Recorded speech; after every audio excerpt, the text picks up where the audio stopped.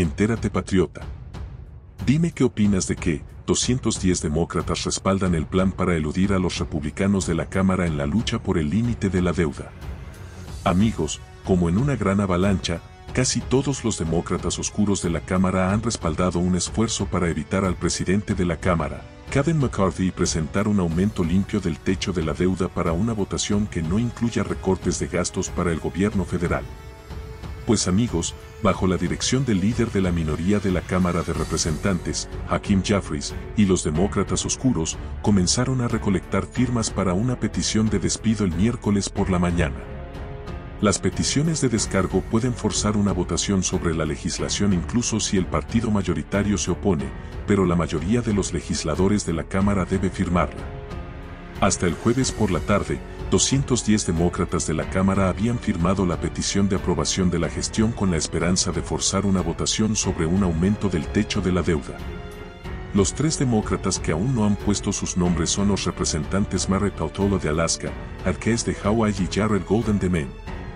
Por su parte patriotas, los republicanos han rechazado la idea de un aumento limpio del techo de la deuda sin condiciones previas.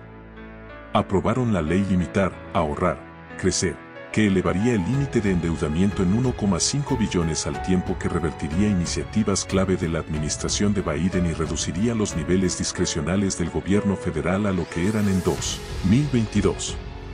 La oficina de Peltoule confirmó que firmará la petición y señaló un comunicado para explicar que la demora se debió a una tragedia familiar. Sigo apoyando las negociaciones en curso de todas las partes y creo que una petición de descargo para traer una solución de techo de deuda limpia al piso puede proporcionar una opción de respaldo valiosa. Actualmente estoy de duelo por la pérdida de mi madre, pero tengo la intención de firmar el petición de alta tan pronto como pueda regresar a DC, dijo Peltoule. La oficina de Golden remitió a Fox News Digital a un informe anterior en el que el congresista criticó la petición de despido. La oficina de Casen no ha respondido a una solicitud de comentarios. Una petición de aprobación de la gestión requiere una mayoría simple de 218 votos, pero los demócratas solo tienen 203 escaños. Hasta ahora, los republicanos de todo el espectro se han unido detrás de su llamado a recortes de gastos para acompañar cualquier aumento del límite de deuda.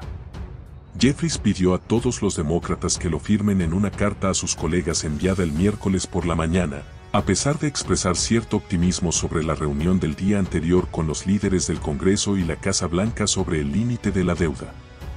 Después de la reunión de la Casa Blanca, tengo la esperanza de que exista un camino real para encontrar una resolución bipartidista aceptable que evite un incumplimiento, dijo Jeffries. Sin embargo, dada la fecha límite inminente del 1 de junio y la urgencia del momento, es importante que se busquen todas las opciones legislativas en caso de que no se llegue a un acuerdo.